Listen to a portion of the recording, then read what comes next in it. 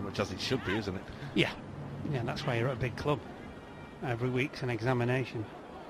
Mamadou Sakho, who had his injury problems last season, on towards Teixeira here. Lambert. Lambert just bullying the defender, Teixeira.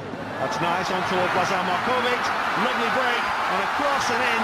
And Liverpool lead very early. Well, they couldn't have asked for a better start. And Lazar Markovic, who had a half chance a moment ago, takes the first real chance of the game. Yeah, and he was just really, really quick to react. I mean, I think it was a foul in the build-up. Lambert just basically assaulted one of the Thai defenders, which the referee never saw. But great thing from Markovic. There you are. That, that, if that's not a foul, I, I don't know what is. But clever little ball as well here to Markovic. As I said to you before about ball watching, that's going to be a massive problem for the Thais. But Markovic was very aware and, and awake to the possibility of scoring. It's a little more streamlined, Lazar Markovic. He flew through there and was able to finish. Liverpool are off and running.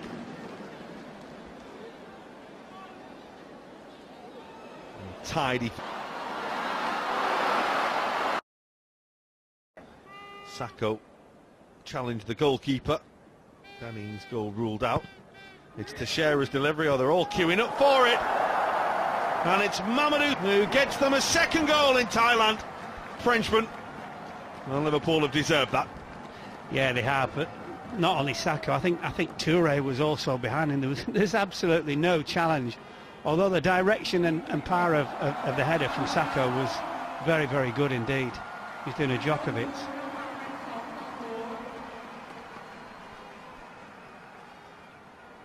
You watch at the far stick here, look at these two.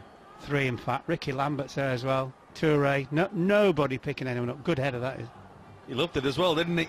Yeah. Nobody, nobody from the Thai All-Stars actually jumped. But they're all like statues. Perfectly placed. From Mamadou Sakho. Origi's won the ball back. Here's Henderson. A lovely little reverse ball. Lallana. Lovely finish for Liverpool. That's the third. Crisp as you like from Adam Lallana after a glorious pass from Liverpool's captain Jordan Henderson. Yeah, it was. The other thing as well is it wasn't the greatest of touches from Lallana, so the fact that the opposition's so weak, nobody reacted quickly enough to make him stop his shot.